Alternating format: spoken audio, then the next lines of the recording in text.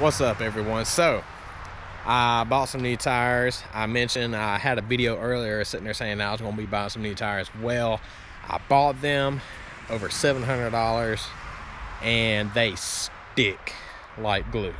And even in this dreary weather, as you can see, it, it, there, it's a little damp out there. So I just went out driving. I have a video that's gonna be posting tomorrow about uh, me driving, hitting some curves.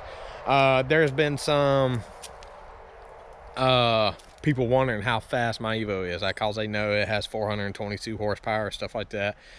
So in my videos, I've always had me just cruising on Making Monday. I've never really punched it and stuff like that. So I made a video that's coming out tomorrow and just be sure to stay tuned and watch it. But here's my tires.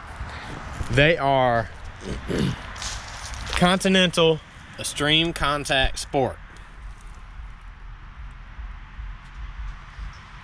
And they stick like no tomorrow. The old tires I had were Nexen N'Feras.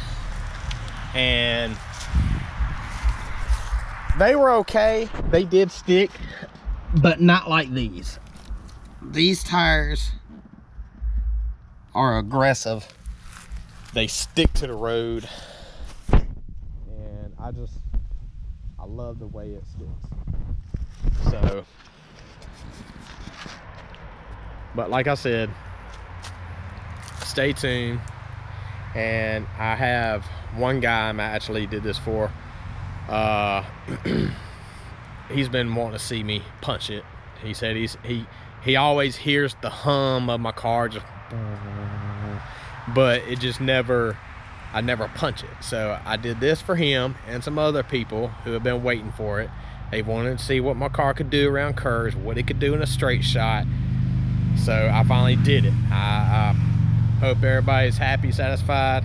Comment let me know what you think. And if anybody wants to take up for a ride let me know